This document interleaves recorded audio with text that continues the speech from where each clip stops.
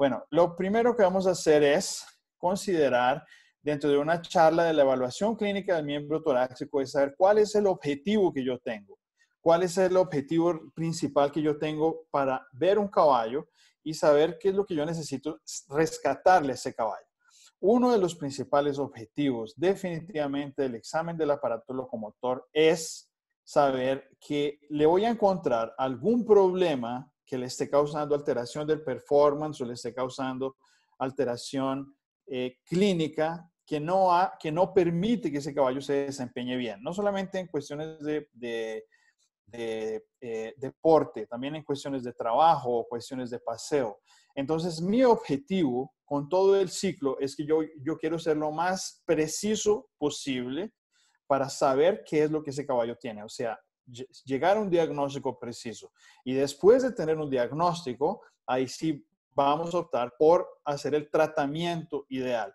Porque hoy en día a veces nos preocupamos mucho con los últimos tratamientos y resulta que una de las bases más importantes es la evaluación clínica, porque la evaluación clínica de los caballos, no importa si pasan 5 o 10 o 30 o 50 años, la anatomía y la biomecánica de los caballos es exactamente la misma. Entonces quiere decir que nosotros si tenemos unas bases sólidas, conseguimos mantenernos en toda la evolución que ha tenido la tecnología de los equipamientos, por ejemplo, de radiografía, de resonancia, ultrasonografía, cintilografía, la cirugía artroscópica y todos los otros elementos que tenemos principalmente para diagnóstico y para tratamiento. Pero hay algo que no cambia y es principalmente la base del examen físico que debe ser alimentada por una anatomía y un examen físico organizado y un examen físico completo.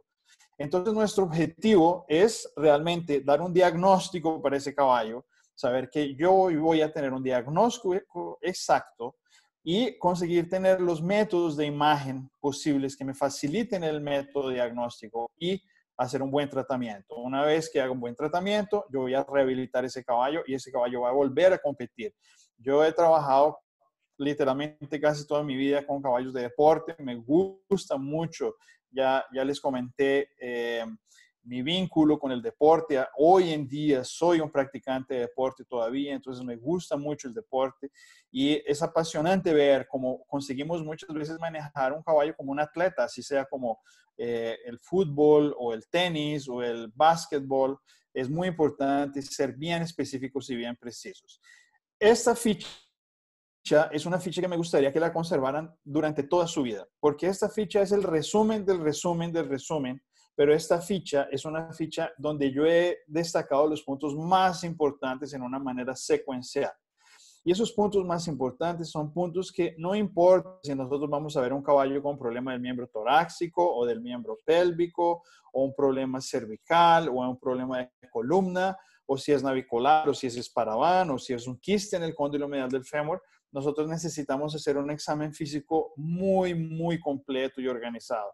Entonces, aquí yo coloqué los puntos más importantes, aunque si ustedes se dan cuenta aquí, la historia clínica, que es la anamnesis, que es el comienzo del examen clínico, ah, ella precede a la inspección estática, ¿cierto?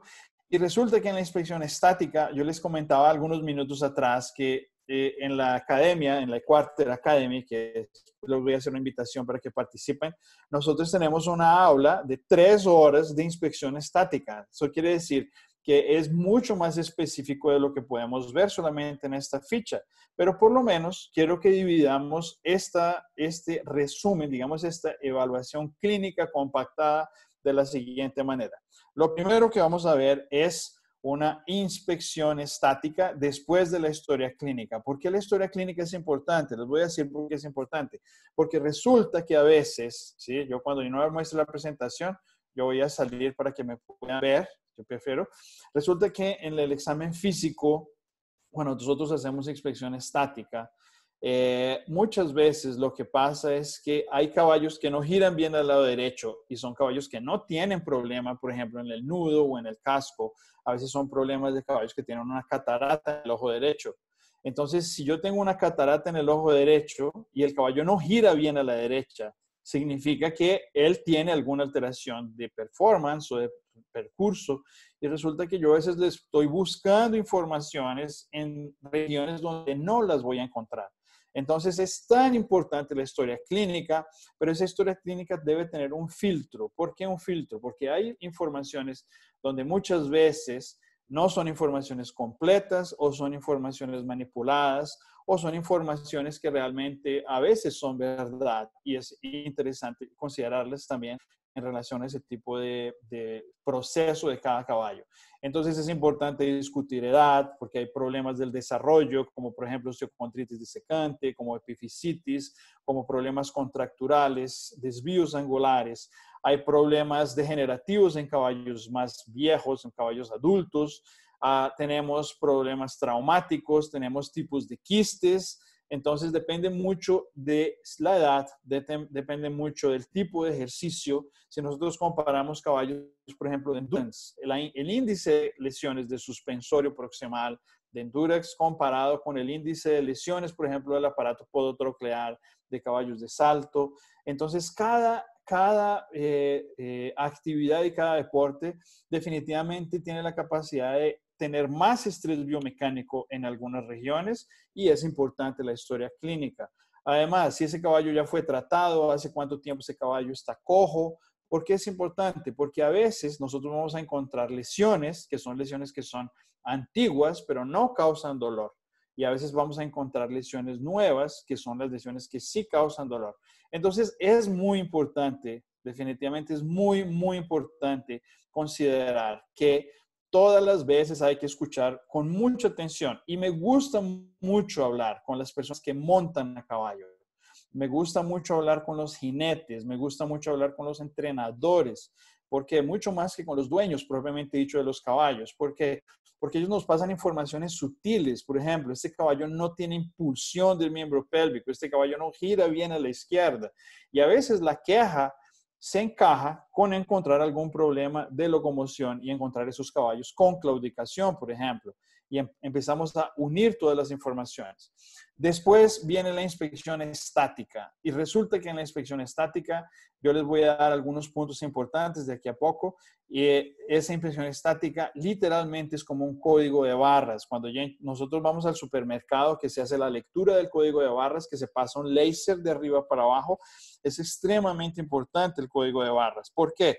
Porque resulta que en el código de barras yo voy a hacer un mapeamiento de ese caballo donde voy a encontrar varias informaciones. Entonces, estas informaciones son informaciones, por ejemplo, como, ya les voy a mostrar algunos ejemplos, como posiciones antiálgicas, o sea que esos caballos sienten dolor y se manifiestan en esa posición.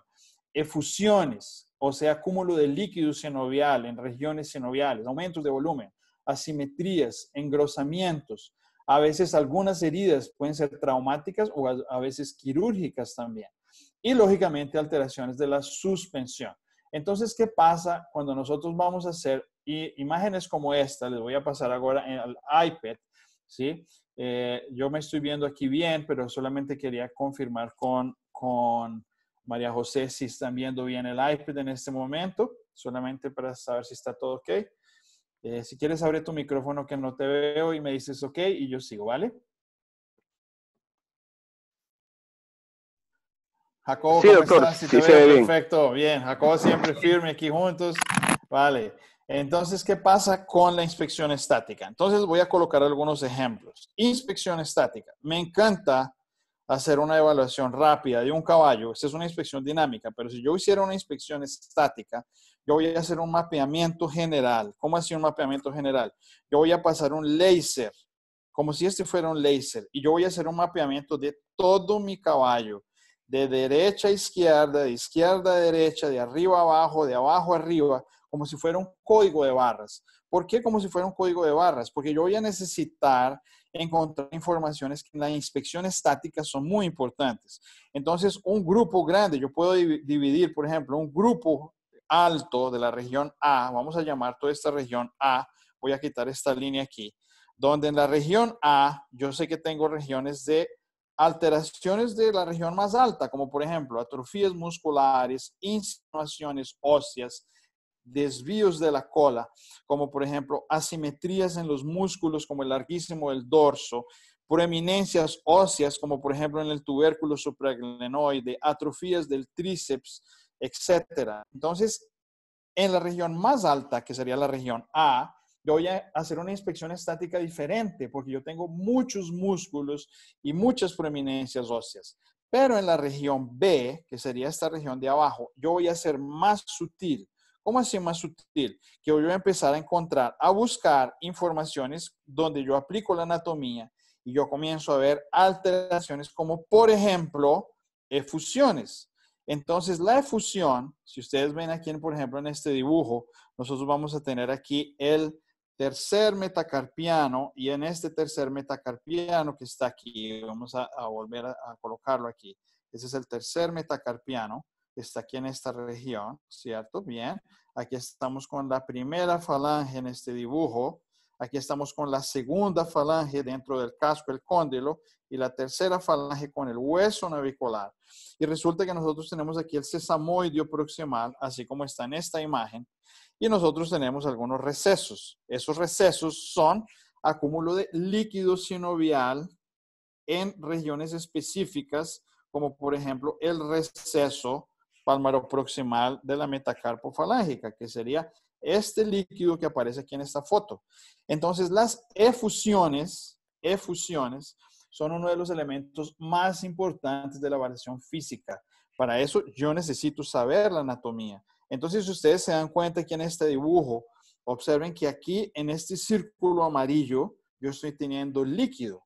Y si yo estoy teniendo líquido, yo comienzo a aplicar la anatomía macroscópica, donde yo sé que aquí viene, por ejemplo, el ligamento suspensorio, yo sé que aquí viene el flexor superficial y el flexor digital profundo, yo sé que aquí en esta región está el sesamoideo proximal, que recibe la rama del suspensorio, aquí en esta región, ¿cierto? Entonces quiere decir que yo voy a, voy a tener informaciones importantes donde yo sé que cualquier alteración en la inspección estática va a ser una inspección estática muy buena porque yo voy a empezar a sospechar de algunas regiones.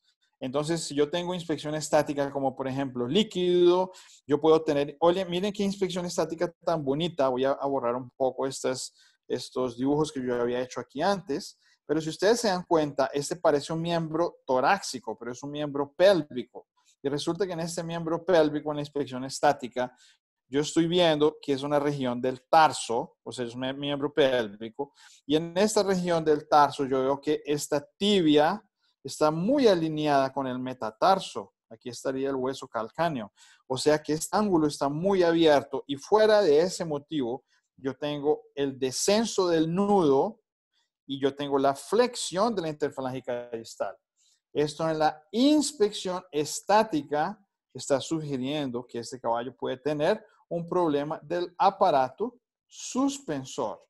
Entonces son informaciones inmediatas, son innúmeras informaciones inmediatas que nosotros podemos ver principalmente en estos caballos. Entonces si yo comparto de nuevo aquí mi presentación, ¿cierto? Yo veo aquí mi presentación donde yo veo eh, por ejemplo, aquí, vamos a ver si voy a, buscar aquí mi presentación que está aquí, perfecto. Yo voy a empezar a ver la inspección estática y en esa inspección estática, observen qué, qué foto sobremontada donde nosotros, nosotros vamos a ver un caballo, pero nosotros vamos a imaginar toda la anatomía que hay por debajo. No solamente huesos como la columna, toracolumbar, aquí tenemos el espacio lombosacro, aquí el sacro, aquí el cuello del ilion, aquí el fémur, la babilla, la tibia, aquí la escápula, el húmero, las vértebras cervicales, la porción eh, laminar del ligamento de la nuca. No solamente esta imagen, es una imagen como ejemplo donde nosotros tenemos que hacer una, un mapeamiento en la inspección estática. Y yo les puedo decir que la inspección estática es una de las herramientas más importantes que podemos utilizar. Algunos ejemplos, ¿qué más puedo ver en la inspección estática? Yo puedo ver, por ejemplo, si un caballo no está apoyando bien un miembro porque él está induciendo una posición antiálgica, o sea que le duele.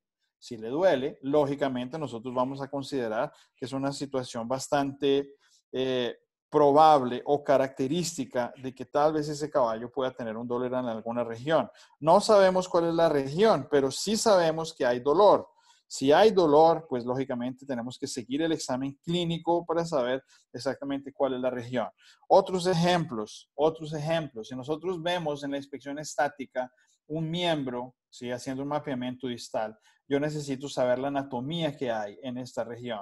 Cuando yo hago la inspección estática, yo veo un aumento de volumen aquí en la rama del suspensorio. Yo debo saber que la rama del suspensorio es intraarticular y que me puede afectar la inflamación intraarticular del nudo. Entonces, esto es lo que yo veo, pero esto es lo que yo pienso cuando yo veo esa información. Entonces, nosotros ya sabemos que en el metacarpo proximal podemos tener líquido del túnel del carpo. Aquí nosotros vemos el túnel del carpo pasando superficial y profundo. Aquí vemos el cheque inferior y el ligamento suspensorio. Aquí vemos el accesorio del carpo. Esto es una foto medial. Entonces, son muchas informaciones que yo puedo ver relacionando ese problema. Y aquí la imagen que ustedes vieron la misma imagen en el computador, yo puedo ver fusiones. ¿Qué es una efusión? Una efusión es literalmente el acúmulo de líquido sinovial, como lo vemos aquí. Y ese líquido sinovial es formado por los sinoviócitos. Y ese líquido sinovial es una respuesta a alguna alteración de la estructura sinovial. ¿Cuáles son las tres estructuras sinoviales que nosotros tenemos? Las estructuras sinoviales son articulaciones, como por ejemplo la articulación del nudo, vainas tendíneas, como por ejemplo la vaina tendínea digital, donde abraza el superficial y el profundo, y las bursas. Observen esta foto, donde yo tengo aquí una bursa del navicular que queda entre el hueso navicular y queda entre el flexor digital profundo. Entonces, considerando que yo tengo líquido sinovial, las efusiones son una de las herramientas más importantes del examen físico, donde yo puedo definitivamente saber que hay posibilidad de alteración en esos caballos.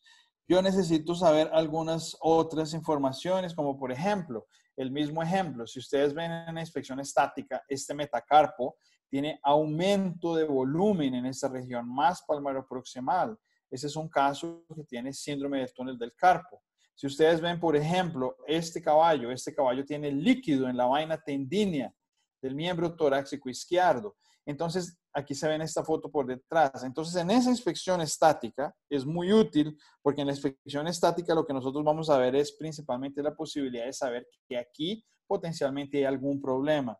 Si nosotros vemos este caballo, miren qué lindo esta foto. Este caballo, les voy a dejar ver durante cinco segundos esta foto para que vean si hay algo diferente entre estos dos miembros torácicos. Este es el miembro torácico izquierdo y este es el miembro torácico derecho. Y la pregunta es, ¿será que hay algo diferente? Los voy a dejar durante 5, 5, 10 segundos viendo esta imagen para ver qué opinan de esta, de esta inspección estática. Vamos a ver qué opinan ustedes. 5 segundos.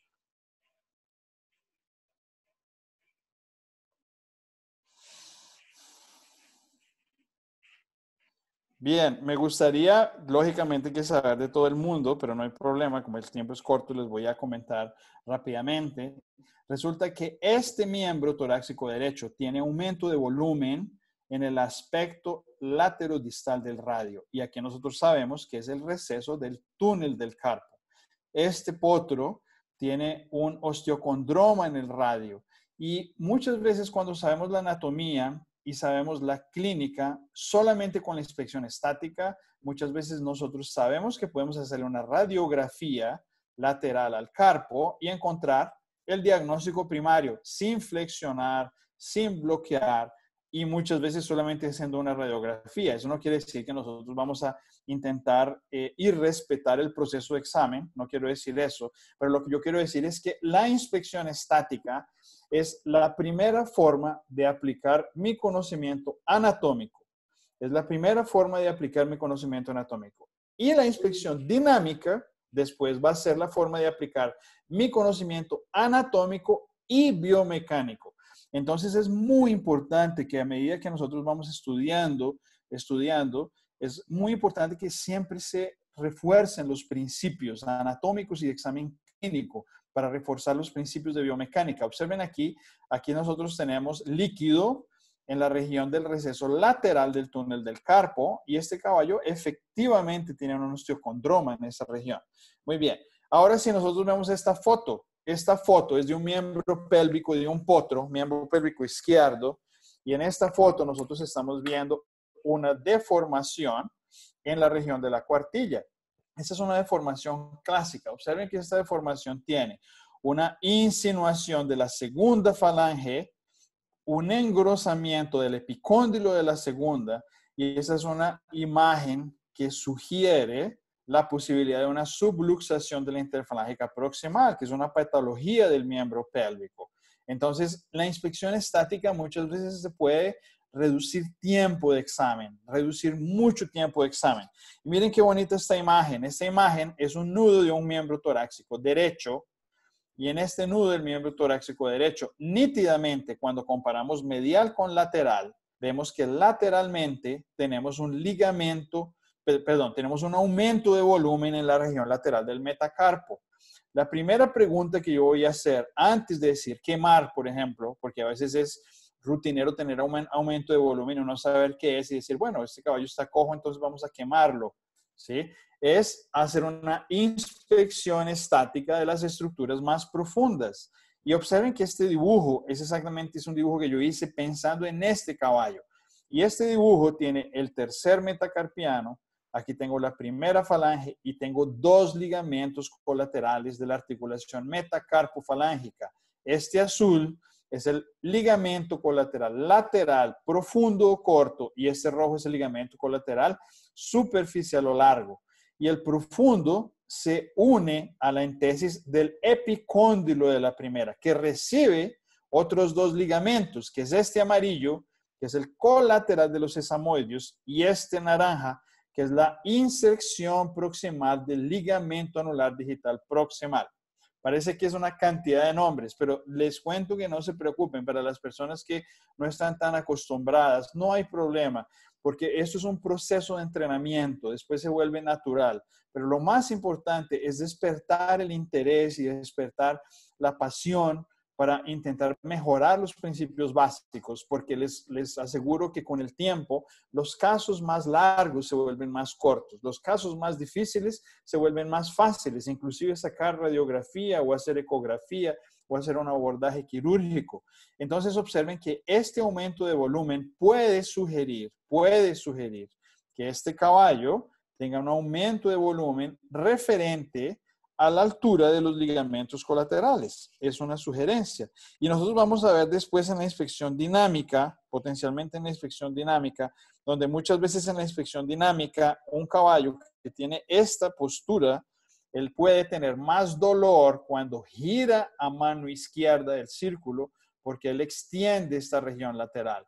Entonces ya comienzo a asociar la inspección estática con cuáles estructuras potencialmente pueden estar con problema asociado a la dinámica, donde si este caballo cogea de la mano derecha con más intensidad en el círculo a la izquierda, donde yo tengo extensión de esta región, pues yo ya pienso que puedo empezar a montar mi rompecabezas en mi cabeza, donde yo estoy asociando la historia clínica, la inspección estática, la inspección dinámica y después yo voy a dar mi diagnóstico por imagen. Entonces es muy, muy completa esa asociación y yo siempre les aconsejo que durante todas las ah, evaluaciones de todos los caballos es muy importante que todo encaje, se encaja como si fuera un Tetris, se encaja como si fuera una enzima sustrato. Hay caballos que no se encajan bien, pero hay justificativas para que no se encajen bien, pero generalmente se encajan muy bien. Observen esta inspección estática. Este caballo fue increíble. Ese fue un cuarto de milla que yo atendí hace mucho tiempo y resulta que este cuarto de milla comenzó con una manifestación, una manifestación de ataxia y él empezó a manifestar problemas neurológicos, pero resulta que cuando le hice el examen físico, le encontré una atrofia severa en todos los músculos del hombro bilateralmente, o sea, supraespinoso, infraespinoso, deltoides, eh, eh, subclavio, parte do homotransverso, um pouquinho do tríceps e toda essa região do ombro estava totalmente atrofiada. Então, começamos a pensar inspecção estática, atrofia muscular do ombro bilateral em um caballo atáxico. nosotros le hicimos el examen de la elevación de cabeza. Cuando le hicimos la elevación de cabeza, este caballo cayó al piso. Entonces empezamos a asociar la inspección estática con la dinámica para invitarnos a hacer otras evaluaciones, como por ejemplo en la región cervical caudal, para ver si había la posibilidad de que había un grado de compresión cervical caudal, que también inerva la región antebraquial, porque ustedes recuerdan que toda esta región del antebrazo tienen fibras que salen desde las últimas vértebras cervicales y las primeras torácicas. Entonces yo puedo tener manifestaciones en el hombro como consecuencia de alteraciones que muchas veces pueden ser cervicales. Y la manifestación clínica de este caballo comenzó desde una alteración de performance y después pasó para una ataxia. Entonces son caballos, caballos interesantes porque nosotros consideramos exactamente eso. Y como yo les comentaba en la suspensión, es muy importante saber todas las estructuras que participan en la suspensión, porque en la mayoría de las actividades ecuestres, yo he visto cuarto de milla, caballos de salto, caballo de adiestramiento, caballos de endurance que corren en el desierto, etcétera, son caballos que tienen un desafío del aparato suspensor. Y ahí comenzamos a analizar la biomecánica, porque si yo ya sé biomecánicamente cómo se comporta el dígito yo ya sé cuáles son las maniobras, como por ejemplo este caballo que está saltando y resulta que este caballo está recibiendo su eh, impacto en una de las fases del apoyo biomecánica, que es la recepción y la mitad del apoyo.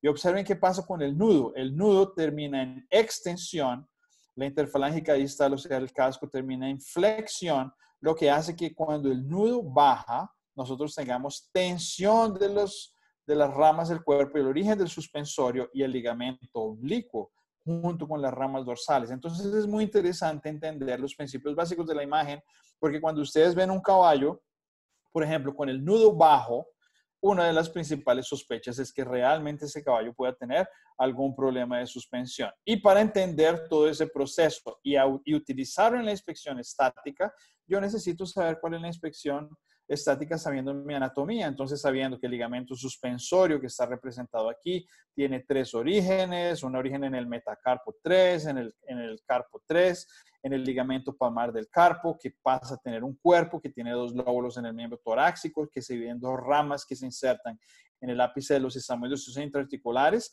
y se proyectan como ramas dorsales y distalmente los ligamentos oblicuos. Ese es un principio básico de anatomía para saber exactamente qué es lo que pasa. Entonces, si nosotros nuevamente vemos aquí nuestra ficha clínica, esta ficha pequeña que yo les mostré, observen que nosotros vemos en la inspección estática, nosotros vamos a encontrar muchas informaciones, pero por otro lado, esas informaciones necesitan de conocimiento anatómico, necesitan de conocimiento detallado de las estructuras sinoviales, qué es normal, qué es normal, en dónde quedan, y automáticamente yo paso a otro nivel. Entonces, fíjense que aquí en la inspección estática yo tengo eh, actitudes donde los caballos se posicionan de una manera donde parece que tienen dolor en alguna región. Y las efusiones yo considero que es uno de los elementos más importantes que nosotros debemos eh, prestar atención, porque las efusiones realmente son informaciones muy útiles, aunque hay algunas regiones, por ejemplo, que son regiones más eh, profundas, como por ejemplo una articulación coxofemoral, en donde en una articulación coxofemoral yo no veo la efusión y lo que yo hago es hacerle ecografía a ese caballo para ver efusión.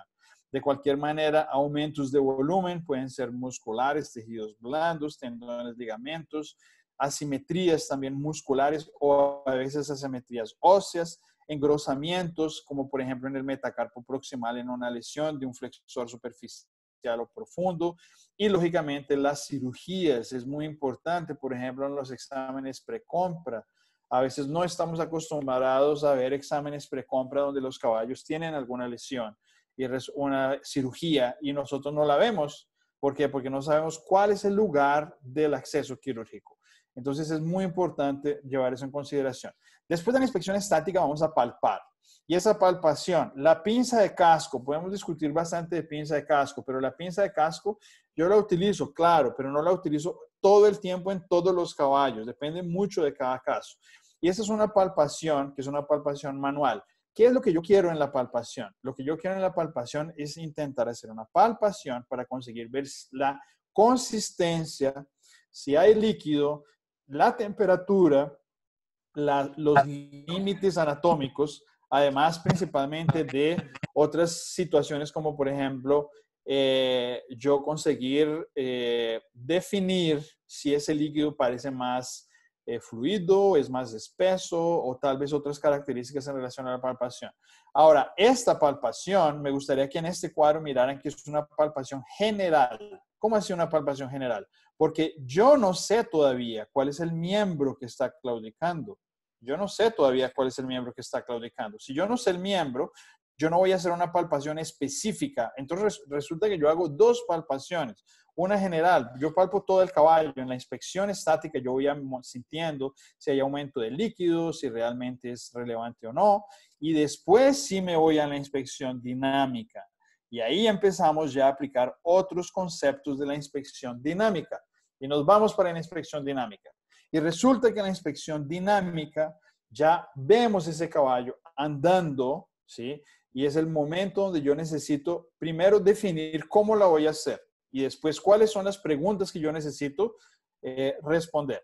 Entonces, en la inspección dinámica, yo voy a tener algunos puntos que ya se los voy a mostrar, pero en la inspección dinámica, literalmente yo necesito responder algunas preguntas. ¿Cuáles son las preguntas que voy a responder? Yo ya les voy a decir cuáles son las preguntas que respondemos, pero lo que a mí me gustaría eh, citar es primero cómo la voy a escoger hacer. Entonces resulta que en la inspección dinámica me gusta utilizar principalmente estos tres factores.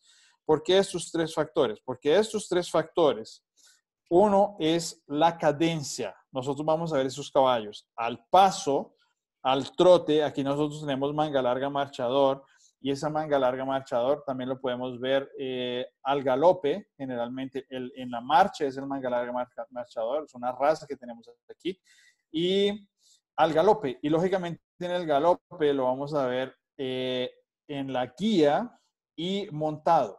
Entonces es muy importante examinar todas las cadencias. Si yo no examino todas las cadencias, muchas veces es difícil haber una, una asociación entre informaciones que yo solamente veo, por ejemplo, al paso o solamente veo al trote o los veo exactamente de alguna manera en especial. ¿Cómo los hago? Los hago en círculos y en línea recta. También los hago al lado o los hago con la guía.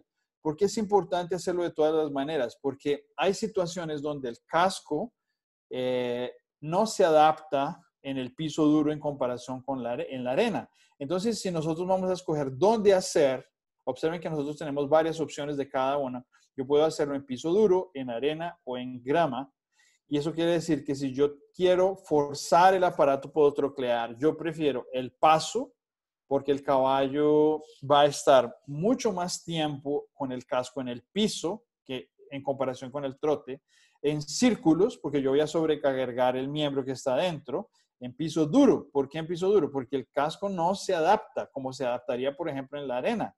Entonces nosotros vamos a comenzar a ver otras características de otros caballos donde nosotros sabemos principalmente que eh, esos caballos van a tener formas de respondernos algunas preguntas. Y la pregunta que nosotros necesitamos responder es ¿cuál? Entonces, la pregunta que necesitamos responder es exactamente esta pregunta. Entonces, nos vamos ahora para el, les voy a compartir mi, mi pantalla en el iPad. Ok, creo que está aquí. Sí, creo que está aquí en el iPad. Perfecto. Entonces, ¿cuáles son las preguntas que necesitamos responder en la inspección dinámica? Y esto es súper importante, porque estas preguntas necesitamos responderlas en el momento donde examinamos esos caballos. Primera pregunta que yo necesito responder es si este caballo está cojo o no está cojo. Si la respuesta es no está cojo, yo puedo ver si hay alteración de performance, porque si hay alteración de performance, este caballo puede ser neurológico, puede ser, o este caballo puede tener otro sistema, como por ejemplo el sistema eh, eh, eh, oftalmológico. Este caballo no ve bien. Entonces, si yo sé que este caballo realmente está cojo, o sea, él sí está cojo, yo paso para la segunda pregunta. ¿Cuál que sería la segunda pregunta? Si él está cojo o claudica del miembro torácico o pélvico. Perfecto. Entonces yo voy a responder que este caballo tal vez está cojo del miembro torácico. Sí, torácico. Paso a la tercera pregunta, si es izquierdo o derecho. Y si yo ya sé que este caballo sí está cojo del miembro torácico y es el miembro torácico derecho, yo ya sé cuál es el miembro. Y es por eso que yo les decía antes que aquí nosotros vamos a hacer una palpación específica. ¿Por qué palpación específica? Porque en esta palpación específica yo ya sé que es el miembro torácico derecho. Y yo voy a repetir inclusive la inspección de este caballo, porque a veces yo tengo otras informaciones que yo no vi cuando hice mi inspección estática general. Entonces me encanta hacer una segunda inspección estática y una segunda inspección, una segunda palpación, porque en la inspección dinámica, que sería esta inspección dinámica, yo voy a responder esas preguntas. Entonces observen que aquí yo ya respondí si es si claudica o no claudica, si es torácico pélvico, si es izquierdo o derecho y después paso con estas dos informaciones que son 4 y 5, que son alteraciones de la triangulación, que es un principio súper importante. Y después de la triangulación, yo voy a buscar ya cambios biomecánicos. Estas dos observaciones son súper importantes porque estas dos observaciones me ayudan muchísimo en muchos casos que son un poco más complicados. Entonces, claro, yo voy a considerar, por ejemplo, en esa situación que yo voy a definir cuáles son las características de ese caballo, donde yo ya sé que yo lo coloque al paso o en línea recta o al trote, en círculos, en piso duro, en arena o en grama, pero yo ya tengo la respuesta de esos caballos. Como el Zoom no es una plataforma que es viable para pasar videos, eh, yo se los digo porque yo, pues trabajo bastante con audiovisual, trabajo bastante con plataformas, con transmisión online, etcétera. Y eh, nosotros tenemos una plataforma de pasar videos rápido que es el OBS, pero no comparte. Entonces, probablemente todos los videos que ustedes vean son videos que van a quedar cortados. Es por eso que estoy mostrando poco video para que no quede la sensación de frustración de que no puedo mostrarles lo que yo quiero mostrarles. Entonces, por ahora, no se preocupen. Lo único que yo quiero hacer es dar un ejemplo, un ejemplo de un caballo. Yo sé que si la imagen está cortada, no se preocupen, pero este fue un caballo que yo tuve la posibilidad de ver en Dubai junto con un amigo, colega veterinario. Eh, eh, yo soy muy feliz de poder recibir los caballos de los veterinarios y mi rutina con caballos es literalmente 100% casos referidos de veterinarios. Yo no atiendo más caballos directamente de los propietarios y me gusta mucho hablar con los veterinarios porque muchas veces son, a veces son colegas, a veces son amigos, a veces son mis alumnos. Entonces es muy bueno y me ha permitido, gracias a Dios, eh, conocer varios lugares. Este caballo fue un lugar, un caballo, es un caballo que él, que él claudica del miembro torácico izquierdo. ¿Y por qué sé que claudica del miembro torácico? No se preocupen si el video está cortado, pero es por lo menos la función es el principio del examen de locomotor, no ver los caballos cojos. Porque una de las manifestaciones en el examen dinámico, por ejemplo, que este caballo está en línea recta, en piso duro, al paso, tenemos tres características. Paso, piso duro, alado. Perfecto. Esas son las características que yo quiero ver este caballo. Yo veo que sutilmente eleva, eleva, eleva, eleva la cabeza cuando apoya el miembro torácico izquierdo. Entonces, claro, en esta imagen yo ya sé si el caballo está cojo o no está cojo o cuáles son las características de esa cojera. Y yo ya voy a considerar principalmente otros elementos. ¿Cuáles son los elementos? Uno, la triangulación, porque la triangulación, nosotros ya vimos de aquí, en, breve ya les hago un dibujo. La triangulación es una herramienta que yo no voy a tener tanto tiempo de explicárselas porque tenemos, ya llevamos 50 eh, minutos y este es un resumen del resumen, pero yo quiero que sepan que después que nosotros diagnosticamos cuál es el miembro, por lo menos yo sé que la triangulación es una herramienta muy importante para saber la biomecánica, porque resulta que en la biomecánica nosotros vamos a tener varios tiempos. ¿Cómo así varios tiempos? Yo tengo tiempos que son de apoyo, de elevación, entonces son situaciones donde yo necesito considerar, por ejemplo, ok, yo necesito, por ejemplo, considerar lo siguiente. No sé si aquí estamos con un, tiempo, eh, un tiempo, de, ok, ese tiempo de votación, muy bien. Entonces, si nosotros vemos, por ejemplo, yo voy a compartir aquí mi pantalla de nuevo, pero el iPad, ¿sí? Voy a compartir mi pantalla del iPad. Y resulta que si yo quiero mostrarles en esta imagen cuáles son los tiempos de apoyo, ¿sí? son resúmenes de los resúmenes. Me encantaría quedarme horas aquí hablando y seguro que vamos a tener oportunidad en algún momento. Pero fíjense que yo puedo tener primero una fase que es una fase de recepción. La fase de recepción es cuando el caballo apoya el miembro y nosotros vamos a tener el nudo en esta fase donde yo voy a tener flexión de la interfalágica distal y extensión del nudo. La siguiente fase es la mitad del apoyo y en la mitad del apoyo es donde realmente, yo estoy exagerando aquí en mi dibujo, pero yo realmente, vamos a exagerar, pero no tanto, ¿sí? De realmente yo tengo un descenso del nudo aquí en esta región donde yo ya veo que ese nudo está mucho más bajo y hay más flexión. Y en la última fase, que es la fase de propulsión, que estaría aquí, es una fase donde yo ya tengo el casco, pero este caballo ya está propulsionando para atrás. Entonces, fíjense que si yo trazo una línea aquí y aquí, yo literalmente voy a hacer un triángulo. Este triángulo tiene una fase que es la fase 1, que es recepción, la fase 2, que es mitad del apoyo, y la fase 3, que es propulsión. Y aquí tengo 1, aquí tengo 2 y aquí tengo 3. Quiere decir que yo tengo tres, tres diferentes episodios biomecánicos. Eso quiere decir que cuando yo entiendo la biomecánica que pasa en cada región, automáticamente yo voy a interpretar qué es lo que pasa con esos caballos cuando andan, por ejemplo, al paso y yo voy a tener la triangulación en esta región. Entonces, por ejemplo, observen que aquí, eh, vamos a ver, yo voy a compartir resultados, voy a quitar aquí un poquito. Si yo veo este caballo, yo estoy haciendo la lectura de la triangulación, en donde yo voy a hacer la lectura para ver si ese caballo tiene una triangulación aumentada o reducida, y aquí es donde voy a sacar otras informaciones.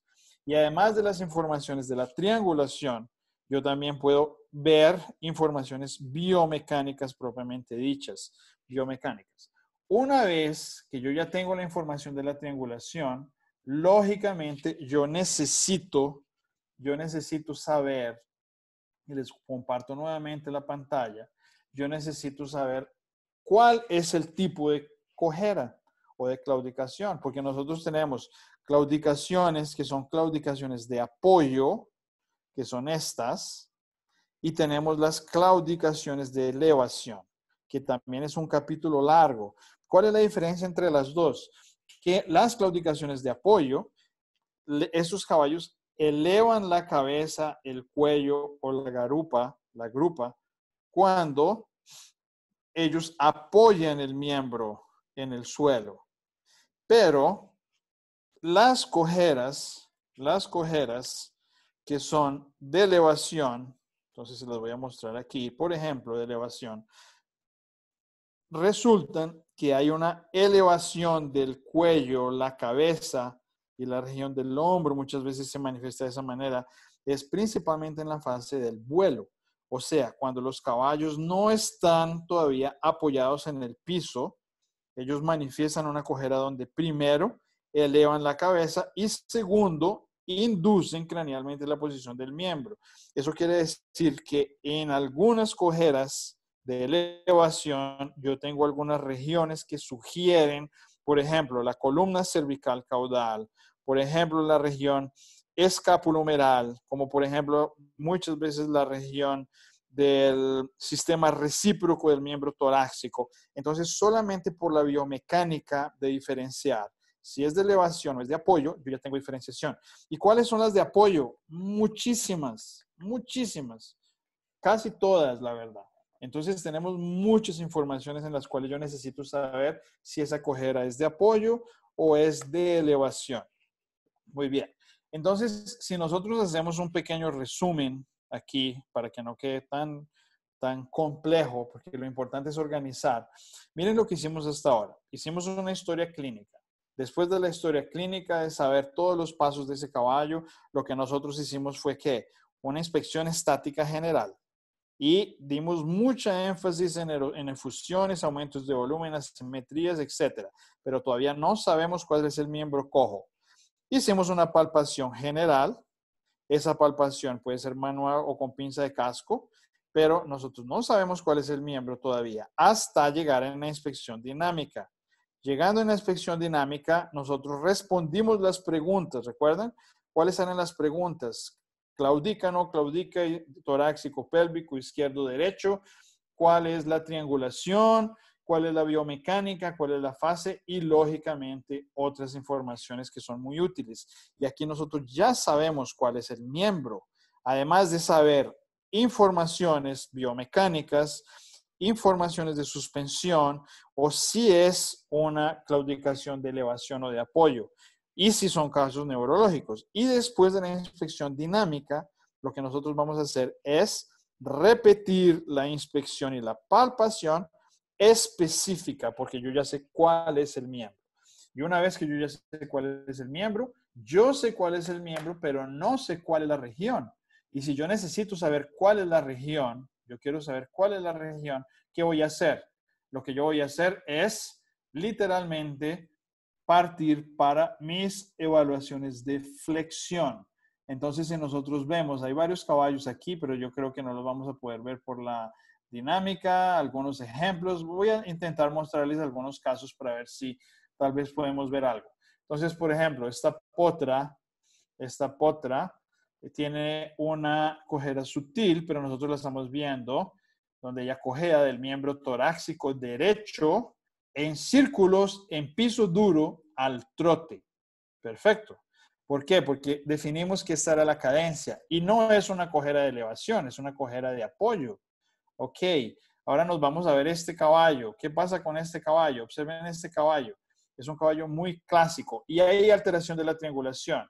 Este caballo eleva, eleva la cabeza, eleva, eleva, eleva, eleva. Quiere decir que eleva la cabeza cuando apoya el miembro torácico derecho. Significa que es una cojera del miembro torácico derecho de elevación. Y ahora vamos a, a intentar justificar el triángulo. Observen que ese es el triángulo formado por la mano izquierda adelante y la mano derecha atrás. Y si nosotros comparamos este triángulo con el triángulo de la mano derecha adelante, o sea, lo contrario, que exactamente en este momento, yo veo que este triángulo es más pequeño. Si el triángulo es más pequeño, yo ya sé que este caballo tiene algún problema en este momento, ya sea cranealmente en la mano derecha o caudalmente en la mano izquierda y para saber si este caballo tiene una triangulación reducida por culpa del torácico derecho o por culpa del torácico izquierdo, yo ya sé que es del torácico derecho. ¿Por qué? Porque él está levantando la cabeza cuando apoya el miembro torácico derecho. Entonces, fíjense que en un video de 20 segundos nosotros respondimos todas las preguntas. ¿Cuáles son las respuestas? Caballo cojea del miembro torácico derecho, donde tiene una reducción de la triangulación de la fase craneal. ¿Y qué reduce la fase craneal? Podemos tener varias opciones de reducción de fase craneal también, como por ejemplo el hombro. Este caballo tiene una fractura del tubérculo supraglenoide crónica. Entonces es una imagen característica de un examen físico donde yo utilizo mi anatomía, mi biomecánica, mi triangulación, mi examen dinámico, mi palpación, las asimetrías, etc. Y así les puedo colocar inúmeros ejemplos. Lo único que me preocupa es que no tenemos eh, un video tan fluido, pero por lo menos son ejemplos. Observen, no sé si pueden, pueden ver esta yegua. Esta yegua está haciendo en qué cadencia? Está al trote, en piso blando, que en este caso es la grama, en círculos guiada por la cuerda, o sea, en esta posición. Y yo en este video nítidamente veo que esta yegua está muy coja del miembro torácico izquierdo, porque eleva, eleva, eleva, eleva, eleva, eleva, eleva, cuando apoya el miembro torácico izquierdo. Y si yo hago otro, otra pausa, observen, observen cómo es el triángulo, el triángulo, les voy a mostrar despacito. Miren el triángulo del miembro torácico izquierdo, adelante, y miren la mano derecha atrás, es un triángulo grande. Claro, comparen el triángulo de este miembro con este triángulo pequeño. Eso quiere decir que si la mano izquierda está apoyando y se levanta la cabeza cuando apoya la mano izquierda, significa que el problema es la mano izquierda. Y si el triángulo está pequeño aquí, cuando él levanta la cabeza, significa que esta yegua tiene reducción de la fase caudal. Entonces vamos a responder todas las preguntas de este video. Eso es una yegua que claudica sí de los torácicos, un torácico, ¿cuál? El izquierdo y en la triangulación tiene reducción de la fase caudal. Y después viene la gran pregunta.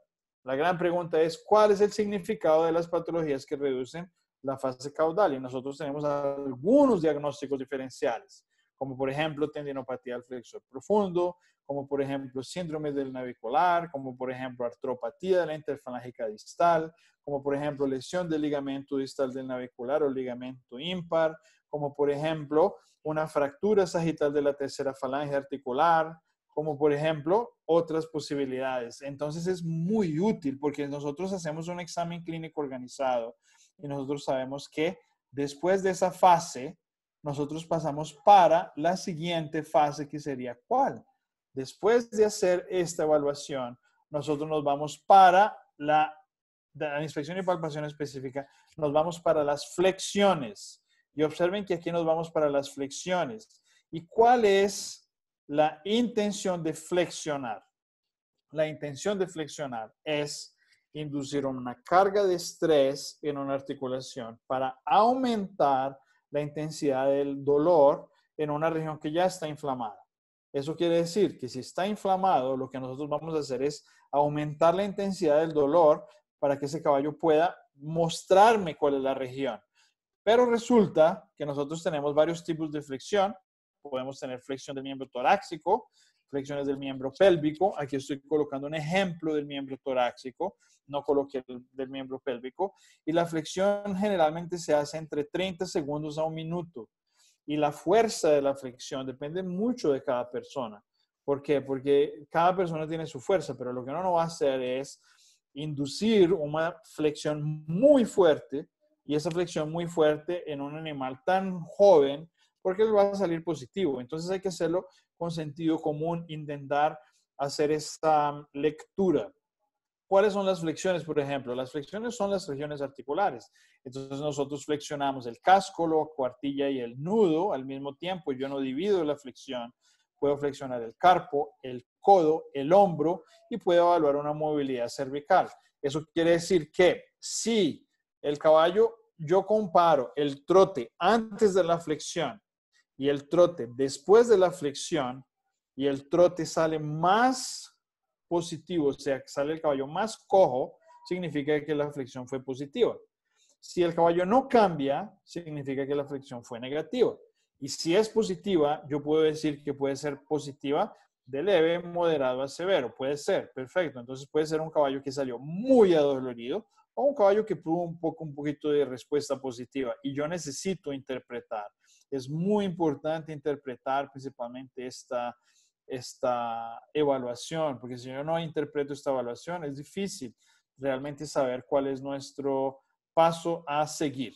Muy bien, entonces aquí colocando solamente algunos ejemplos algunos ejemplos como por ejemplo la flexión del nudo. Y aquí me gustaría dejar claro que la flexión del nudo no significa que este caballo tenga problema en el nudo. La flexión del nudo positiva puede ser nudo, cuartilla, casco y a veces hasta metacarpo, inclusive metacarpo proximal. Entonces hay que tener un poco de cuidado en la interpretación. Yo puedo hacer la interpretación, por ejemplo, la flexión del carpo es poco frecuente caballos que salgan positivos, a no ser que sean caballos de carreras que tienen una incidencia de fracturas y artropatías del carpo más elevada que tal vez otra modalidad de deporte. Yo puedo hacer la flexión del hombro, la hago generalmente con el casco entre las piernas, bloqueo del antebrazo, induzco una extensión del hombro. Yo puedo hacer la extensión de toda la región. Aquí es una flexión del, del, codo, pero estoy induciendo una extensión de toda la región palmar del metacarpo y palmar de la región del antebrazo. Entonces, esas flexiones son flexiones que me pueden dar informaciones muy útiles, porque si yo tengo una región positiva, tal vez sea una posibilidad de hacer diagnóstico por imagen antes de los bloqueos, o tal vez los bloqueos. Y lógicamente tengo los, las evaluaciones, que son evaluaciones, por ejemplo, de lateralización cervical. Ese también es un caballo de salto, es un caballo de alto performance, es un caballo que tiene eh, una claudicación de un miembro torácico y queríamos solamente descartar eh, la maniobrabilidad de la columna cervical. Entonces lo invitamos a girar para el lado izquierdo, lo invitamos a girar para el lado derecho para ver si ese caballo realmente está cómodo no está cómodo, que podamos sugerir que tiene algún problema en el cuello. Entonces son situaciones específicas del examen físico y lo que vemos es si realmente ese caballo está girando bien o no está girando bien. Y así muchas informaciones diferentes. Nosotros vamos a ver todos esos caballos también. Entonces, nuevamente, después de esa inspección dinámica y de la palpación, puede utilizar la pinza de casco. Después de la palpación específica, utilizo la pinza de casco. Es una posibilidad. Y existen otras maniobras también que la literatura cita, que son maniobras que pueden ser útiles, como por ejemplo, ¿cuáles? Como por ejemplo, las, la, la evaluación de la rampa donde yo induzco una extensión de la interfalángica distal, un estrés del flexor profundo, yo necesito levantar la otra mano, yo puedo inducir con una rampa y una, una esfera aquí distalmente, yo puedo rotacionar para lateral, rotacionar para medial, y es una otra forma de examen, es un examen que sí se utilizó durante mucho tiempo y está bien, puede ser también útil, yo creo que todo es útil si lo sabemos utilizar en el momento correcto. Y una vez que ya definimos que ese caballo está con flexión positiva, observen que ya es un, como si fuera un embudo. Cada vez vamos a acercar más ese caballo, porque empezamos sin saber nada, después sabemos cuál es la historia, después detectamos inflamaciones sinoviales o engrosamientos, después vimos que cogea de un determinado miembro, le vimos la triangulación, cómo se comporta la biomecánica, lo palpamos de nuevo y lo flexionamos. Eso quiere decir que la información viene de grande a pequeña. Yo siempre hago el, ejemplo de un embudo. Empezamos de mucha información y a medida que avanza el examen, cada vez cercamos más ese diagnóstico y llegamos en un punto muy, muy importante después, que son bloqueos y la imagen. Y me encantaría explicarles un poco este slide. Yo tengo un curso, dos cursos que son de, online, que son de examen, de, bueno, hay tres cursos, ¿no? Examen precompra, pero no es, no es lo que quería comentar. Tengo un curso, después les voy a, a, mostrar algunas imágenes de un curso que es de bloqueos perineurales. Y el bloqueo perineural es una herramienta extremadamente importante y muy buena, pero nosotros no lo debemos utilizar todo el tiempo. Si nosotros llegamos hasta este punto aquí, nosotros llegamos desde este punto del examen. Nosotros tenemos dos caminos. ¿Cuáles son los dos caminos en este caballo? O yo lo voy a bloquear o yo le voy a hacer imagen.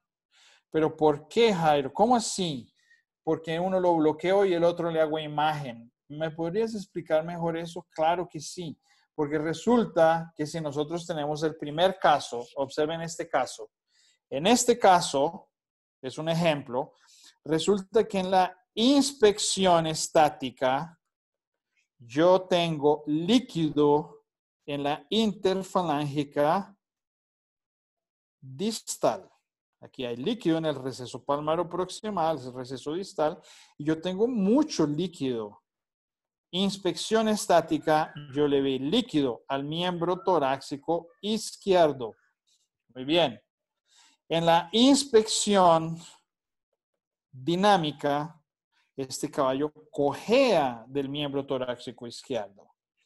En la flexión fue positivo al dígito y en la inspección dinámica, en la triangulación, yo tuve reducción de la fase caudal. ¿Y qué pasa en la fase caudal?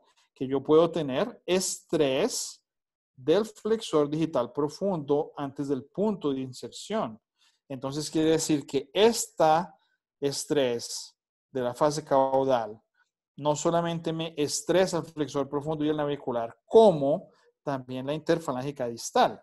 Y resulta que antes de hacer la radiografía, por causa de esta información, esta información, esta información y esta información, yo decidí hacer radiografía del casco. Y resulta que en la radiografía yo encontré una artrosis de la interfalángica distal. Y aquí, ¿qué pasa? Mi diagnóstico fue rápido. Pero ¿por qué radiografía aquí? porque yo tengo informaciones en el examen físico que me llevan a radiografar allá. Entonces eso quiere decir que hay caballos donde yo no los necesito bloquear. O a veces los puedo bloquear después. ¿Por qué? Porque si yo lo quiero bloquear después, por ejemplo, si yo lo quiero bloquear después, lo que yo puedo hacer aquí es, después de que le hice mi diagnóstico, le puedo hacer un bloqueo intraarticular. ¿Un bloqueo intraarticular de qué? Por ejemplo, de lidocaína le hago un bloqueo intraarticular y ese bloqueo es 100% positivo, que significa que paro de cojear. Y si el paro de cojear, significa que mi diagnóstico está correcto. Entonces, claro, hay caballos donde yo no tengo esa información. Y si yo no tengo esa información en esos caballos, ¿qué necesito hacer?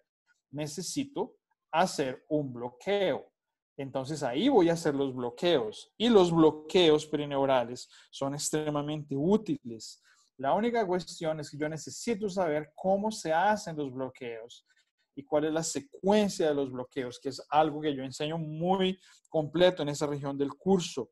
Entonces, si ustedes observan, solamente para colocarles un ejemplo, ese es el miembro, miembro torácico derecho. ¿Por qué? Porque este es el accesorio del carpo. Esto es lateral y esto es medial. Solamente para mostrarles, yo tengo aquí el nervio ulnar, que es azul, nervio ulnar, y el nervio mediano, que es rojo. El nervio mediano, ¿cierto? El nervio mediano sigue como nervio mediano, palmar medial y digital palmar medial. Y el nervio ulnar tiene una rama dorsal, recibe una comunicante del ulnar, del mediano, tiene una rama profunda, además de la profunda tiene una rama superficial y esta rama superficial sigue como palmar lateral y aquí abajo digital palmar lateral. Y este nervio se divide en dos metacarpianos, la rama profunda, por ejemplo. Miren los dos metacarpianos aquí. Entonces yo no solamente necesito hacer esto, saber esta secuencia, como saber que yo puedo hacer, por ejemplo, el bloqueo digital palmar, que salió negativo, el bloqueo en anillo, que fue negativo, el abaxial de los esamoidios, que salió negativo, los cuatro puntos bajos, que salió negativo, y hice los cuatro puntos altos y salió positivo. Si este bloqueo me salió positivo aquí y yo bloqueé de abajo para arriba, significa que esta región es una región a ser explorada. ¿Por qué? Tanto con radiografía como ultrasonografía porque este caballo no nos dio informaciones tan importantes que me permitieran hacer imagen de una vez. Entonces es el otro camino. Y en ese otro camino del examen físico, por eso es que yo necesito saber si yo voy a escoger hacer un bloqueo o yo voy a hacer imagen. ¿Por qué? Porque cada camino tiene sus subcaminos. Y lo más importante es saber por qué escogí exactamente ese camino. Una vez que ya encontré mi región, ¿cuál es la última parte de mi examen? La última parte es imagen, pero esa imagen puede ser antes o puede ser después y generalmente esa imagen es una imagen de la combinación entre radiografía y lógicamente ultrasonografía. Depende mucho de cada región. Y con esa radiografía y con esa ultrasonografía, que son informaciones, no sé si ya, escucharon hablar del jaque pero el jaque es un entrenamiento que comenzó hace dos años aquí en Brasil, donde cada pieza es un, un elemento. Entonces el caballo es examen clínico, la reina es la radiología, la torre es ultrasonografía, nosotros tenemos examen de columna y nosotros tenemos tratamientos. Entonces son capítulos especiales para cada región. Pero en este momento, nosotros ya sabemos que, por ejemplo, si nosotros tenemos una región para hacer radiografía y otra región para hacer ultrasonografía, en algún momento vamos a conseguir llegar a nuestro diagnóstico definitivo y ahí es donde nosotros conseguimos realmente concluir ese examen. ¿cierto? Y en resumen, en resumen, lo que yo quiero decirles es que es muy importante el examen clínico. Ustedes vieron que yo hice el resumen del resumen del resumen para intentar respetar más o menos los 60 a 80 minutos, ¿sí? Y una de las cosas más importantes es no olvidar los parámetros físicos, los parámetros clínicos, anatomía, examen físico, biomecánica, entender la triangulación antes de pensar en grandes terapias, antes de pensar en grandes máquinas de radiografía de ultrasonografía y de resonancia magnética, porque yo les, yo les aseguro que muchas informaciones que nosotros vamos a diagnosticarlas más para adelante las conseguimos ver antes, principalmente ¿por qué? Porque nosotros hicimos un examen clínico completo armónico, eh, detallado y lógicamente aplico los principios que son importantes aplicar para cada caso. Es mucha información en poco tiempo, pero estuve muy cuidadoso en relación a qué puntos destacaba para intentar responder preguntas. Y para mí eso, como yo les comenté, es una alegría estar aquí con ustedes. Eh, me encantaría responder sus preguntas. Si tienen alguna pregunta que yo pueda eh, ayudarles. La verdad, sería muy bueno estar con ustedes. Veo varias personas de aquí, el Jaque Mate, Camilo, un abrazo grande. Eh, bueno, eh, es un océano de información, pero les estoy compartiendo por lo menos la esencia del examen, que es lo más importante que creo que debe ser claro para después empezar a, a sumergir en detalles más profundos. ¿Vale? Excelente charla, doctor Jaramillo. De verdad, cada vez que puedo asistir a una de sus charlas virtuales, bueno, es, maravilloso poder escuchar eh, tan detallado evaluación clínica, ¿no? Muchísimas gracias. vamos, vamos, a pasar a las preguntas. A ver, me imagino que debe haber bastante, doctor. Bueno, estoy aquí con mucho gusto para eso.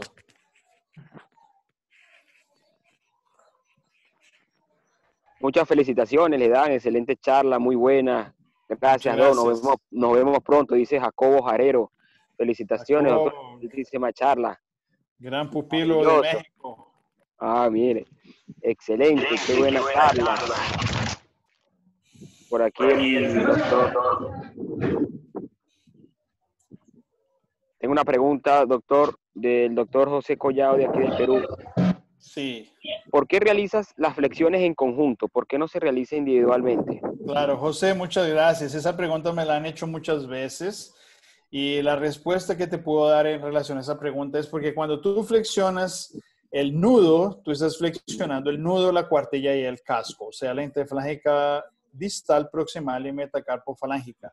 Es humanamente imposible hacer una flexión del casco con la segunda falange, porque es una articulación, a pesar de ser de alto movimiento, esa, esa región con intensidad. Entonces es muy difícil separar la interfalángica distal y lo mismo con la interfalángica proximal, que es de poco movimiento. Entonces, cuando tú haces la fricción, yo sé que los libros dicen para separar la interfalángica proximal de la distal, pero en la práctica es casi imposible. Y si fuera posible, se hace mucha fuerza, pero no es tan relevante. Entonces, como hoy podemos tener buenas ventajas como la imagen y como los bloqueos y una excelente anatomía, no vas a necesitar depender de los bloqueos, de las flexiones. ¿Por qué? Porque durante la flexión del nudo, si se estimula todo el dígito, pues yo lo voy a diferenciar con mi examen estático, con mi examen dinámico, con mi palpación, con mi diagnóstico por imagen o con mi bloqueo eventualmente si preciso necesito hacerlo, ¿vale? Una buena pregunta. Arleta, Gracias, un abrazo. Estoy teniendo aquí acceso a las preguntas. No se preocupe, doctor. Gracias. Tengo aquí, una pregunta de José Cazorla de Ayacucho. Pregunta, ¿hay puntos muy exactos al momento de los bloqueos? Sí, claro. Exactamente. Yo me gustaría invitarlos, eh, podría invitarlos, eh, el Inson, a, los, a la plataforma y todo. Eh, los puntos claro, sí, sí, claro, doctor. Muy importantes. Me gustaría mostrarles aquí. nosotros en Ecuarter tenemos entrenamientos. Aquí está casualmente Camilo de Colombia y hay algunas personas que se han entrenado. Nosotros tenemos dos, varias, varias informaciones hoy en día digitales para abrirle las puertas de la educación a muchas personas. Y una de ellas son los cursos online. Si algunos ya los han hecho y uno de los cursos online es, por ejemplo, este curso. Este es un curso de bloqueos perineurales, donde tenemos muchos dibujos. Además de los dibujos, tenemos aulas teóricas. Son grabadas en una plataforma. Las personas tienen acceso a todas las veces que quieran asistirlo. Y, por ejemplo, este, este dibujo que yo utilicé ahora lo utilizo también en esta plataforma, que eso, es uno de los tres cursos que tenemos, que es el curso de bloqueos perineurales. Además, en este curso nosotros hacemos el acceso en piezas anatómicas, como ven, por ejemplo, aquí. tenemos todos los videos de todas las piezas y además de las piezas anatómicas, tenemos los videos de todos los caballos, o sea, del, del acceso en vivo en los caballos. Y este curso es un curso muy bonito también, porque este curso, además de tener informaciones digitales, tiene los videos y es el único curso por ahora que yo tengo eh, entonces tengo la disección, entonces tenemos todas las informaciones eh, en este curso. Y tenemos la plataforma de Quarter Academy, a Quarter Academy, creo que se las voy a mostrar aquí también, es exactamente esta, este logo que está aquí, a ver si lo puedo colocar aquí, que es eh, la Academia de Quarter, y esta Academia de Quarter es donde nosotros tenemos eh, una plataforma, nos reunimos una vez por semana, así como estas reuniones, pero son reuniones de dos a tres horas por semana.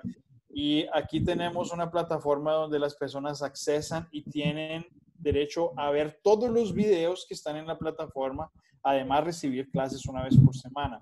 Eh, en esa plataforma es una plataforma que la persona también interactúa con otras personas y además de interactuar con otras personas, eh, hace preguntas digitales online. Además de las preguntas, tiene varios beneficios también como integrante de la academia. Entonces, quería también aprovechar para invitarlos a la Quarter Academy, que a pesar de ser en portugués, soy yo el que la maneja, entonces mi portugués no es difícil es más, portugués al español. Entonces, respondiendo a la pregunta, es muy importante ser muy exacto en los bloqueos. ¿Por qué? Porque tenemos estructuras sinoviales próximas, porque nosotros tenemos vainas tendíneas, tendones, vasos sanguíneos, arterias, y simplemente si no lo hago bien, no solamente puedo causar un problema, como también los caballos no bloquean. Entonces, si no bloquea, voy a tener confusión, mental en la interpretación de ese bloqueo. Entonces, es muy importante la precisión y la especificidad. Claro que sí. Gracias, doctor. Tenemos unas preguntitas por el Facebook Live también. La doctora María José las va a formular. Sí. Claro que sí, María José. Gracias, doctor. Tengo una pregunta aquí de la doctora Morgana de Perú y ella pregunta, en cuanto a evaluación dinámica, ¿usted elige la combinación de cadencia tipo de piso de acuerdo a la patología que sospecha y en qué circunstancia recomienda hacerla con jinete. Claro. Eh, eh, ¿Quién preguntó, María José? Es la doctora Morgana Juscamaita de Perú. Ok, bueno, muchas gracias Morgana por tu pregunta. Excelente pregunta. Mira, eh, cuando yo hago una inspección dinámica, yo no sé exactamente cuál es la patología que ese caballo tiene, porque en la secuencia, generalmente nosotros vamos a saber la patología de ese caballo en el momento donde ya hacemos las flexiones, los bloqueos o la imagen, ¿cierto?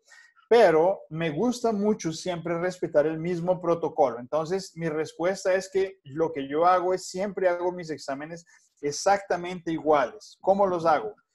Círculos al paso, al lado. Línea recta al paso, todo en piso duro. Después trote en línea recta y después trote en círculos. Todos los caballos los veo de esa manera, los cuatro pasos. Si ese caballo me muestra algo diferente, como por ejemplo una alteración neurológica o un poco de ataxia, o yo no lo veo cojo, no lo veo cojo, pero la jinete me dice que ese caballo está con problema y ella me explica, lo que yo hago es pongámosle la silla y ahí te respondo la segunda pregunta. Yo le digo, por favor, pongámosle la silla a ese caballo porque yo quiero ver qué es lo que me están diciendo en la historia clínica que yo no lo consigo ver en mi inspección dinámica. Entonces, sumando las dos preguntas, los caballos que son sospechosos de neurológicos o que tienen un performance reducido y no están cojos, son caballos que yo los pido que los monten, porque a veces yo consigo ver lo que la persona quiere mostrarme cuando está montado y no cuando yo lo estoy viendo como mi examen normalmente dinámico, ¿cierto? Y cuando yo estoy haciendo el examen físico y ese examen físico yo no sé exactamente cuál es la patología, yo voy a respetar siempre esos cuatro pasos en piso duro, círculos al paso, en línea recta al paso, en trote en línea recta y después en círculos en la cuerda para tan, intentar sacarle todas las informaciones para sospechar qué es lo que yo puedo tener. En otras palabras, me gusta mucho ver los caballos en piso más duro que en arena. Me gusta más. ¿Por qué? Porque yo consigo ver otras informaciones que en el piso eh, blando no las puedo ver, ¿vale? Muy buena tu pregunta. Muchas gracias por tu pregunta. Dale, María José. Muchas gracias. Tengo una más por parte del Facebook Live y creo que hay una más en Zoom. Bien, la doctora Chantal de México eh, le saluda, buenas tardes, y le dice que quisiera saber si el síndrome de Gobler se puede detectar tempranamente y cuál sería su pronóstico. Gracias. Ok, eh, ¿de quién, quién hace la pregunta, María José? La doctora Chandal de México. Chandal, muchas gracias Chandal por tu pregunta también. Solo para comentar, eh, el síndrome de Wobbler, que es un síndrome estenopático cervical, o sea que hay compresión en algún segmento de la médula espinal, puede ser, haciendo una pequeña introducción, puede ser de dos tipos, puede ser intervertebral o intravertebral. ¿Cómo, es intervertebral o intravertebral? Cuando es intervertebral es entre las dos vértebras. Entonces los caballos que tienen wobbler, o sea, compresión de médula por movimientos de cabeza, potencialmente sea intervertebral, porque muchas veces es dependientemente de la posición del cuello. Que es lo que yo les decía de ese caballo, que yo le hice la elevación de la cabeza y hubo compresión cervical y ese caballo cayó al piso. Y el, y el que no es intervertebral, que es intravertebral, muchas veces ya es dentro de la médula, dentro del canal vertebral, y hay compresión de la médula espinal solamente que no depende del movimiento. Entonces es muy común encontrar el síndrome de Wobbler. Hay varios tipos de síndromes, de, varias justificativas del síndrome de Wobbler en animales jóvenes. Y es posible en el examen físico, claro, es muy posible que nosotros podamos tener caballos que tengan una clínica desde sutil, moderada o severa. O sea, depende mucho de los grados de ataxia. ¿Cuáles son las potenciales lesiones más comunes en potros? Generalmente son malformaciones cervicales, osteocondritis disecante. Nosotros tenemos algunos cistos, unos quistes sinoviales que acaban comprimiendo la médula espinal. Y en esa clínica de esos animales, lo primero que hacemos es hacer examen físico y después del examen físico, el examen radiográfico. Y si el examen radiográfico sospecha, generalmente acabamos haciendo el examen radiográfico contrastado, que sería la melografía. Y muchos caballos podemos dar diagnóstico, pero algo importantísimo es que hay caballos que son radiográficamente negativos, son por contraste negativos y tienen síndrome de Wobbler y solamente los vamos a ver por tomografía computadorizada, porque a veces no conseguimos ver los niveles de compresión hoy en día con la mielografía en algunos segmentos que existen. Entonces, sí, eso también es una muy buena pregunta. Y tenemos síndromes de Wobler de vez en cuando en algunos potros y algunos adultos también, pero tal vez sea más, potencialmente más común en potros. Muy buena pregunta también. Muchas gracias.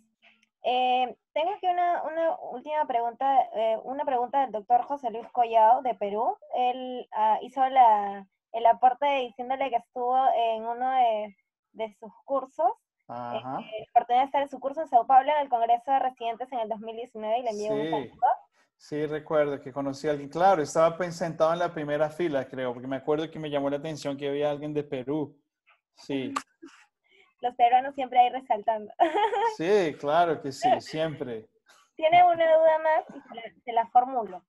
Dice, le pregunto si ha tenido problemas con el uso intravascular de lidocaína, sea por alguna inflamación indeseable o algún fallo en el bloqueo.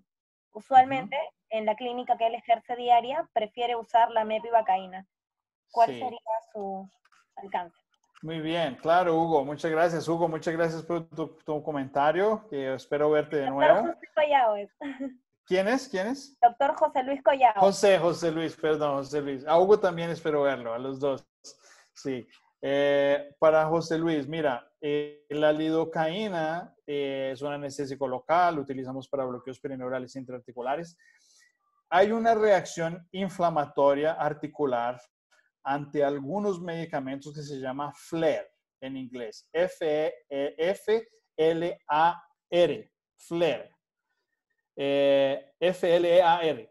Y resulta que ese FLAIR eh, generalmente es una reacción a algunos productos que tengan peso molecular mayor, ¿sí? en, mi, en mi experiencia. Entonces, el producto más común que a veces nosotros tenemos FLAIR articular es ácido hialurónico, y a veces otras terapias como por ejemplo el hidrogel. No sé si utilizan en Perú el hidrogel, pero tenemos por ejemplo el Notrex o tenemos el Artramid o otro medicamento que es a base de stanosolol que se llama el Sungate. Eh, son medicamentos de alto peso molecular que eventualmente pueden causar un proceso inflamatorio, ¿cierto? La lidocaína puede ser que no funcione o que no tenga un efecto tan bueno, pero yo nunca he tenido una respuesta inflamatoria por lidocaína porque la, el peso molecular es más bajo, pero es posible porque es un medicamento. Por eso que algunos medicamentos se asocian con corticoide, depende mucho de cada caso, sabiendo que el corticoide puede tener una condrotoxicidad, para saber que él puede tener una respuesta inflamatoria y esa respuesta inflamatoria hay que tratarla, que lo importante es que no sea inflamación por infección. ¿Cuál es la diferencia entre una inflamación por infección y una inflamación por flare? Porque el flare es inmediato, pasa, se inyecta y ya la articulación se inflama y generalmente responde bien al tratamiento sintomático. Y la inflamación por infección pasa por contaminación, que son las primeras horas, y empieza a manifestarse 28, 40, 32, 48 horas después, o sea, dos días, tres días después. Entonces no es, no es el caso. Eh, entonces no he tenido tantas eh, respuestas inflamatorias con lidocaína y sí he tenido respuestas de flare con otros productos. Ahora, en relación de la potencia, también tienes toda la razón, porque resulta que la mepivacaína últimamente se ha estudiado que tiene una potencia superior a la lidocaína. La lidocaína a veces puede bloquear la piel y no bloquear estructuras más profundas en comparación de la mebipivacaína, que puede bloquear la piel y estructuras más profundas, que es lo que nosotros deseamos en el bloqueo perineural. ¿Vale? muchas gracias, José Luis, por tu respuesta, por tu pregunta.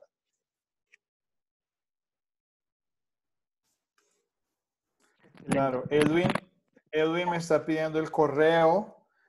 Les voy a invitar a, les voy a hacer una, ¿puedo hacer una invitación rápido, María José? Claro que sí, doctor. Eh, Edwin me está pidiendo el correo, les voy a mandar el correo, pero la, quiero invitarlos a que sigan eh, Equarter.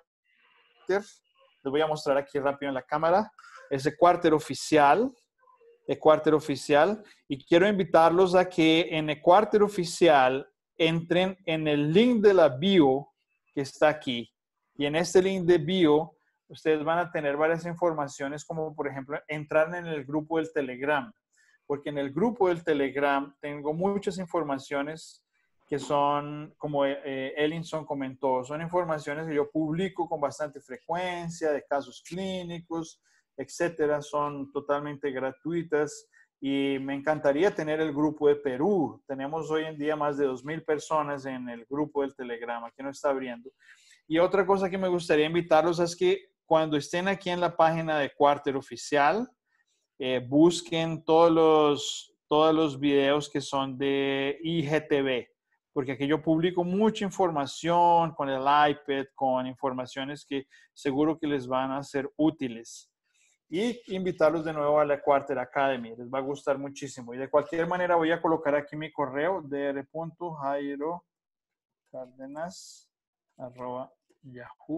dr.jairo.yahoo.com.br. ¿Vale? Ahí les mandé mi, ahí les mandé mi correo, pero cualquier cosa, con mucho gusto, ustedes pueden contar conmigo, todas las personas que nos ven en el Facebook, en el Instagram, en todo lugar, sabiendo que, que sepan que nuestra función en Ecuador es agregar información y ayudar a las otras personas y principalmente conectarnos, ¿no? Hoy en día tenemos gente de Australia, gente de, de los Emiratos Árabes, de Qatar, de México, de toda América Latina, en fin, eh, va a ser muy bueno tenerlos a ustedes también con nosotros. Y ya les conté que ya tengo un cariño especial por Perú porque tengo buenos recuerdos pasados de competencia. No sé si hay más preguntas, Elinson. Tenemos una última pregunta, doctor, para poder cerrar ya la ponencia. Y viene por parte del doctor Marco Figoli y le pregunta en cuanto a bloqueos, ¿qué prefiere usar? Si lidocaína o metina. Y luego del bloqueo, si hace la evaluación inmediata o espera cinco minutos. Ya, muy bien, muchas gracias. Mira que en Brasil tenemos lidocaína y bupivacaína. Eh, es difícil encontrar la mepivacaína. Se consigue, pero es un poquito más difícil. Entonces, en mi rutina utilizo lidocaína y bupivacaína, de preferencia humanas. Las humanas me gustan bastante y lo que yo hago es hacer un bloqueo, es unos, unas particularidades importantes de los bloqueos que los comento mucho en el curso que les comenté, es no aumentar mucho el volumen, utilizar agujas más cortas, no aumentar mucho la fricción, em, cuidar los principios de asepsia, eh, la dirección de la aguja siempre para abajo, etc.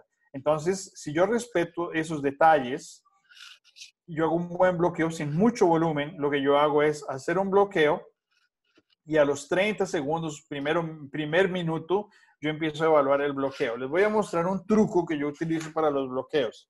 Si yo estoy aquí con mi lugar bloqueado y yo paso a, pasan dos minutos, por ejemplo, y yo empiezo a hacer una presión, yo hago tres tipos de presión, una presión suave, una presión media y una presión profunda. Si yo hago una presión suave y el caballo quita la mano, significa que no bloqueó nada. Si yo hago una presión suave y él no quita la mano y hago una presión media y el caballo quita la mano, significa que hubo, un bloqueo, pero no satisfactorio. Y si yo comprimo suave y no reclama, y después medio y no reclama, y después profundo y el caballo no reclama, yo ya sé que hubo un bloqueo profundo.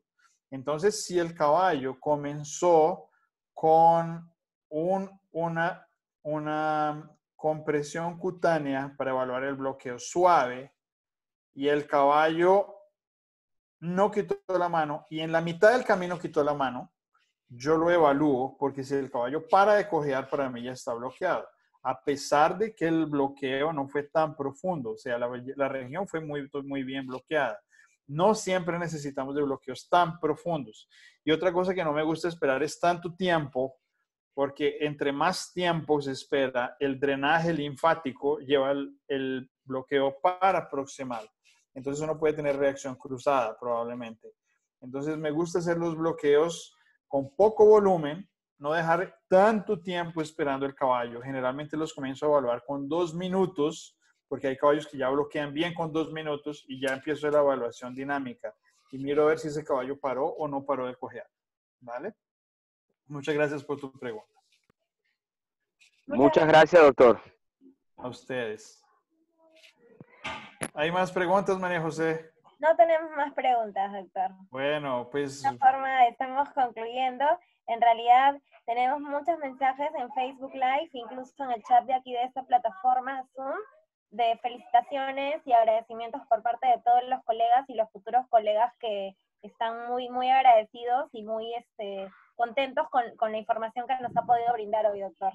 Muchísimas gracias. Pues yo quiero mandarles un abrazo grande a todos. Eh, hay un lema que nosotros utilizamos en Equarter, que es nuestra filosofía, es que no importa todo lo que uno sabe, lo importante es qué es lo que uno hace con lo que uno sabe, ¿cierto? Y lo único que yo quiero hacer es compartir información, facilitar los procesos, así como todos los otros ponentes que están eh, participando de eh, Live Perú. Eh, para mí es una alegría muy grande estar con ustedes. bueno, es el primer contacto que yo tengo directamente con este grupo y yo quiero mucho desearles lo mejor, les deseo muchos éxitos. Si alguien necesita algo en particular, por favor, contáctenme. Veo gente aquí de México, de Colombia, de Perú, de Argentina, de Chile. Hay gente que ya, mucha gente se ha entrenado, pero lo más importante es compartir la información. Que nosotros en los momentos de más dificultad y más crisis sean los momentos donde nos unamos más, eh, donde ayudemos a los otros más, donde compartamos nuestro granito de arena. Y es por eso que yo no dudé en lo mínimo en aceptar la invitación que me hicieron. ¿sí? Y estoy muy feliz de estar aquí, es una alegría muy grande, es mucho tema para manejarlo solamente en una hora, ya llevamos casi dos horas, excelente. Podría quedarme con ustedes más horas, con mayor gusto. Pero quiero básicamente mandarles un abrazo a todos, desearles que se cuiden mucho en esta cuarentena, que pueden contar conmigo y con todo el equipo de Quarter aquí en Brasil, que si alguien algún día quiere venir, que venga a visitarnos, a conocer después de, la, de pasar toda esta situación de la pandemia y tal. Y aquí tienen un lugar a donde llegar y les deseo lo mejor y ha sido un gusto muy grande estar con ustedes. Les deseo muchos éxitos en su webinario, en los que vienen y recuerden que es lo que ustedes necesiten. Estoy con mucho gusto aquí a disposición y pueden contar conmigo y con todo el cuartel, ¿vale? Gracias, doctor. Gracias, por sus motivadoras palabras. De verdad que muy agradecido con su apoyo y su colaboración incondicional. Y bueno, esperemos volvernos a ver pronto, ¿no? Importante esa, esa invitación a Brasil, que pronto podamos tenerlo por aquí en el Perú. Bueno, la doctora María José, este, compromete, compromete, compromete a, los a los a los ponentes en venir a Perú. Así que la dejo con ella para que este le, dé su, su, despedida. Gracias, doctor. Le mando un, fuerte abrazo. Con el Siempre termino convenciendo a todos que vengan, pero doctor, usted me ganó. En una dijo yo voy, no se preocupen. Yo voy, seguro que yo voy. Claro que voy a ir a Machu Picchu y a las líneas de Nazca, a conocer las líneas de Nazca y a echarme una ida por Lima y bueno, y seguro que los voy a conocer personalmente. Sí. Claro que sí. Muchas gracias. Todo grande, doctor Jairo. Un abrazo. Muchas gracias, Guillermo. Te mando un abrazo grande a ti también. Sí, realmente deseamos lo mismo para usted, doctor, que toda esta temporada sea para, para cada uno sacar lo mejor que tenemos adentro y usted lo está haciendo, está dando lo mejor que tiene y lo está compartiendo con, muchos profesionales y futuros profesionales. Le agradecemos, deseamos lo mismo, usted que se cuide mucho. Esperemos que sea muy pronto que todo esto pase para podernos conocer. La invitación está completamente abierta para que usted pueda venir al Perú. Ya habremos ahí nuestros, nuestros truquitos para que usted pueda venir por aquí. Con los brazos abiertos los recibimos y le agradecemos definitivamente por, por su tiempo, por su disponibilidad y por todo el apoyo y las palabras tan bonitas este, que hoy día nos ha dicho, ¿no? Muchas gracias a usted. Realmente, realmente, ha hecho que ame más la medicina deportiva, doctor. Excelente charla. Qué bien, qué bien, me alegro mucho. Sí, qué bien. Creo que entonces de esa forma podemos concluir esta, esta tarde de webinar. Eh, de parte de todo, en mis palabras tengo el agradecimiento de parte de todos los participantes, de parte de todos los países que nos están viendo. Eh, le agradecemos, doctor, le agradecemos a todos los participantes que se han podido conectar. Les mandamos un abrazo y nos reencontramos por la noche. Muchísimas gracias. Vale, María José. Después me mandas una foto del grupo que quiero colocar la foto de Perú ahí en el, en, Instagram. claro que sí, doctor. Eh, una foto del grupo. Vale, se cuidan bastante y muchas gracias por todo. y cuenten conmigo. Cualquier cosa. Aled, un beso grande. Guillermo, gracias. Buenas noches. doctor. Fuerte abrazo. Chao, chao, gracias.